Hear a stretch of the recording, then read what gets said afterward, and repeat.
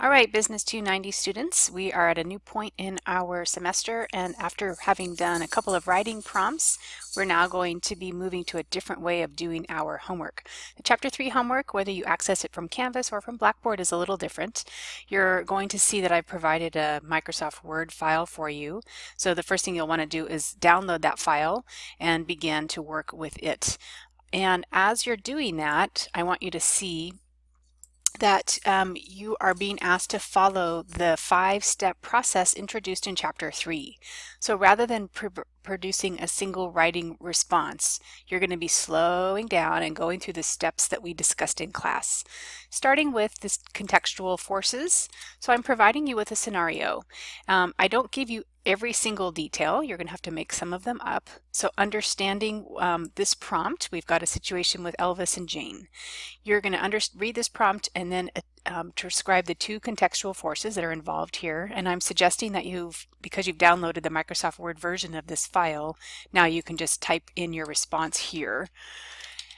To help me as your reader, understand what you've written versus what was already in the prompt, one idea might be to put it in italics or some other way to identify for me easily um, how you are responding.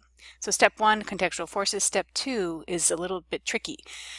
We need to know what your objective is. So Jane has to create a message in response to Elvis. Right here, you're going to write this objective statement. Now, this is something that Jane is going to use in her own mind to craft her response. This is not something that will ever be given to Elvis. So this is her internal tool. What is her objective in this communication? So that's what you would type here for her objective, um, what she's trying to accomplish. As we move along in this um, scenario, we now have um, opportunity to describe Elvis. So when we talk about understanding our audience, this is where you would describe what you believe Elvis to be, where he's at in his life and what's happening with him.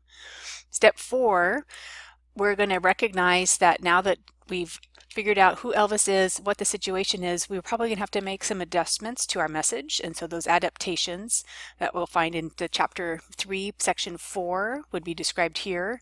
And now we are going to create an outline. So that outline will go here.